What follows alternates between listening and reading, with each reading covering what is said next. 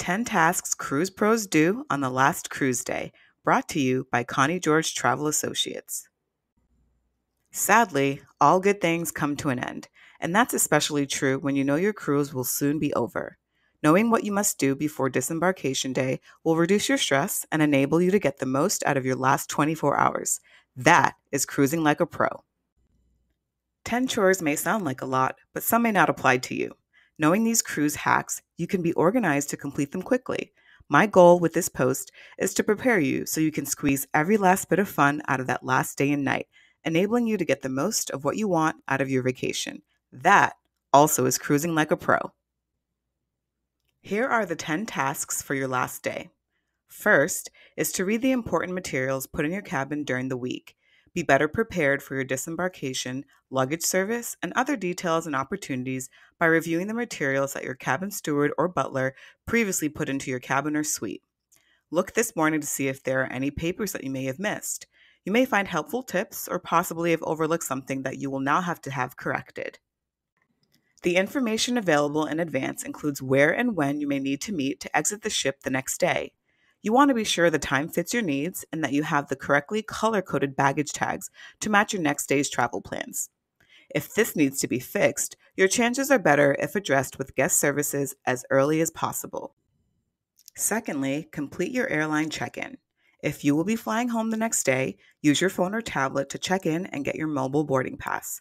Or use the ship's internet cafe to check in and print your boarding pass. Not checking in could result in you losing your seat assignments or even the cancellation of your flight reservation. Third, follow the cruise line's rules on bags out. Unless you are going to walk off the ship with all of your luggage, you will have a deadline by which you must have your luggage outside the door of your cabin. Before placing your luggage outside your door, be sure to attach the color coded baggage tags that the cruise line gave to you. That's vital to your being able to find your luggage after disembarkation. The deadline for putting your bags out is typically 10 p.m. or 11 p.m., though I have had it as late as midnight. Your luggage will be collected and you'll catch up with it the next day in the port terminal. This also means if you do not keep out an outfit for the morning, you'll be walking off the ship and into the terminal in your PJs. Keep a carry on bag with you in the cabin with any toiletries, clothing, and other items you'll need through the night and in the morning. The fourth task is to cash in your casino chips by your last night. If you've been enjoying the casino, be sure to cash in any chips or tickets before they close on your last night. The casino will not be open before disembarkation on the following day.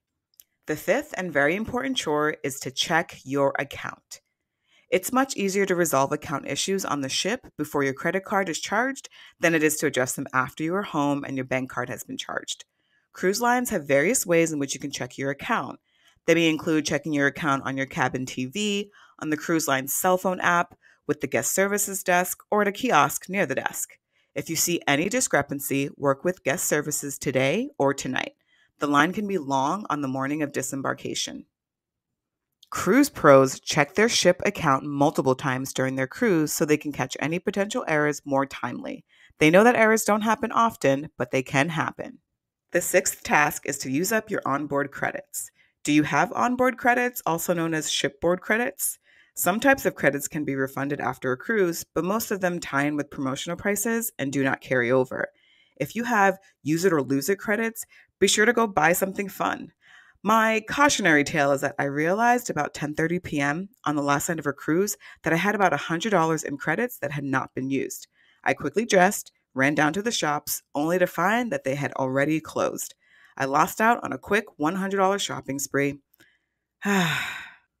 The seventh item on the list is to expect to receive any alcohol that you may have purchased on board or brought on in a port that the ship had stored for safekeeping. If you purchased alcohol on board or in a port, it was stored for you during your cruise. Staff will deliver it to your cabin, often before 9 p.m. In the unlikely event it doesn't show up, contact guest services. Eight is to give back what you borrowed. If you enjoyed any of the books or games from the library, please return them by your last evening.